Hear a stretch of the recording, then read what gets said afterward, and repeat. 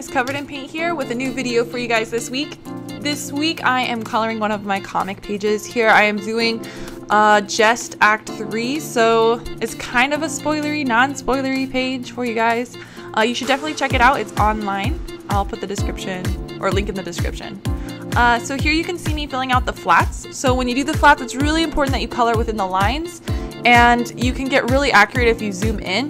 Unfortunately, that's usually where I get the most messy is I just don't want to zoom in on my little 12 inch Cintiq and so my coloring can get a little sloppy uh, along with my line work.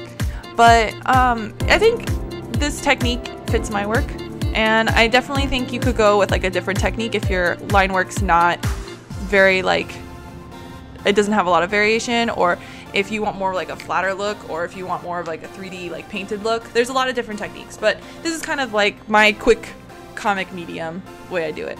So first I flat everything out like this with different colors. Um, they're not the local colors, as you can see. Kuro is not blue and vampires aren't purple. But I choose this so that the local colors will stand out on top of them. And then I will be able to like color it properly and not have any patches sticking out. So here I did a clipping mask on top of the yellow. So now I have like my background atmosphere set and I'm doing the little like cavern cone thingies. Um, I'm just using the colors from the gradient and then using a multiply and then an orange for the highlights. Um, and again, that's kind of the combo is just add your the shadow and highlights, shadows and highlights. And that's that's as deep as I take it. I don't do much blending with um, my pages now. So I'm taking from the last page and grabbing colors from there just so that there's some like continuity with my pages and how they're gonna like lay out and stuff. Uh, you don't want to look through the pages and be like, wow, your your brown is slightly turning pink and your greens are turning yellow, you know. Unless you need to do that. It's really cool, the art of, of coloring and doing like uh, color books, I guess. Is that what they're called? Anyway, so here I'm doing the shadows now to the background layer, and then I'll work into the foreground. And um, again, I'm just using normal brushes. Uh, there's some texture brushes that I use uh, that are Kyle Webster brushes. You should definitely check out his like brushes sets. They're really fun. Um, and I use those because they give it like a softer illusion and um, kind of gives you that glowy, flaming look even though it's not like a glow. So now I've moved on to filling in the local colors. So um, I'm mixing like different tools to coloring in. So originally I use for big spaces the lasso tool and then I'll use the uh, pen tool for really fine details. And the closer again you zoom in, the cleaner your work's gonna be.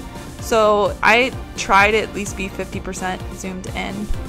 Uh, sometimes I'm not, but I try. That's usually the most tolerable closeness I can get without being super inaccurate. The thing is when you use these clipping masks, you want to make sure that when you erase, like if you're outside the lines, you erase not the color, but the, the clipping mask like underneath. So the purple here, if there's a color that's overlapping out of the lines, you have to erase the purple, not the color that you're drawing with.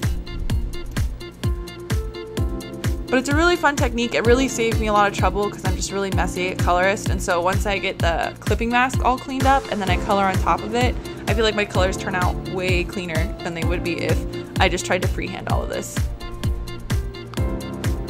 Alright, so I've moved on to Clover the Werewolf Girl and she is... Hello cat. She's gonna run the rest of the tutorial.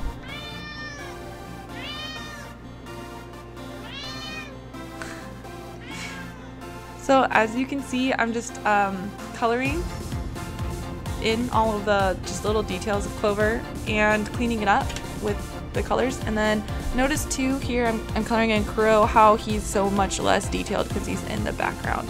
And that's an important thing, like nowadays with digital where we can just zoom in and get really like nitpicky, just remember that things lose detail as they go farther away. All right, the next step will be adding shading. So I'm gonna make another uh, clipping mask it's gonna be over the colored now. So there's the flats, the colors, and then there's the shading and that's all like clipping mask to that purple. Um, this is like a bluish purple that I usually use. I tend to just like how those shadows look, but you can also use like a different color. Um, usually people choose like a bluish purple or like orangey red kind of shadow, depending on what kind of effect you want to go. Uh, once I've colored in all the shadows, I'll change it to a multiply layer and then change the opacity to give it that shadow look. Um, you just gotta play around with it till it feels right. You don't want it to be too saturated or too, um, I don't know, dark.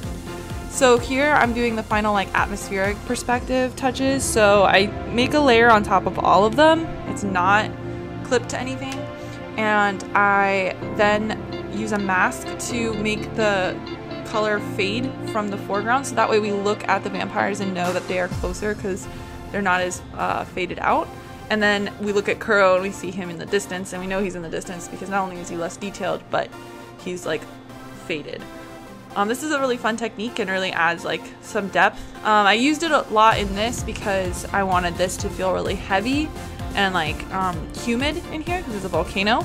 Uh, if you were in like a building or outside in a snowstorm and stuff, there's different, you wouldn't use orange, you'd use different color. You might not have it as like blatant. Uh, but using the mask to like clean up the area really helps out too. So here's the finished product. Um, you can see what I did and how I made this page. And uh, there's no panels or anything. I picked a, a, simple page just for you guys to see the basic coloring method I go through. Uh, if you're interested in seeing other techniques or other ways to do comic pages, let me know. I look forward to seeing you guys next week with another video. Have a great week. Keep doing what you do best. Bye!